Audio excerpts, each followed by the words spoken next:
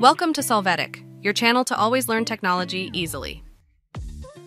Below in the description, you will find useful links we used in this video.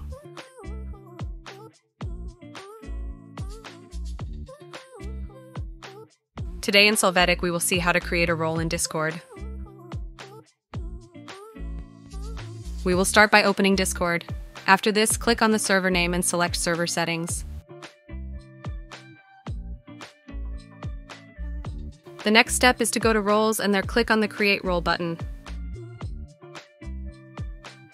Here, enter the name of the role, and if you wish, you can add a color to it.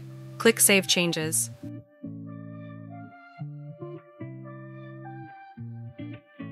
From the Display tab, you can insert image, view members, and some other settings.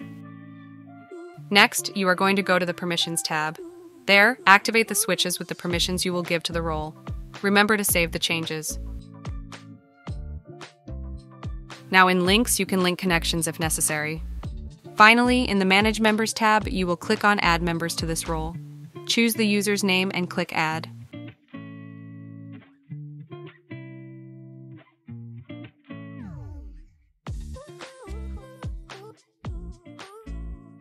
When you click on this user's name in the channel, you can see that they are part of this role. Hey, remember to subscribe Solvetic channel.